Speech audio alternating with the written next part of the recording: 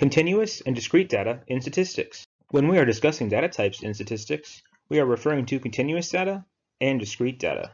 Continuous data can be any value in an interval, while discrete data must be a specific value. Continuous data is measured, while discrete data is counted. An example of continuous data may be the temperature in Antarctica.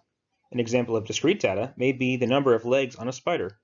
Let's take another example.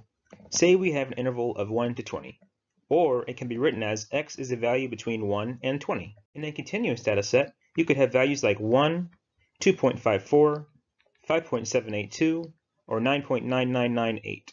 However, for discrete data, x may only be values that are whole numbers or have some very specific requirement, maybe only even whole numbers or only odd whole numbers. Please be sure to check out all my videos, like, share, and subscribe, and check out my social medias.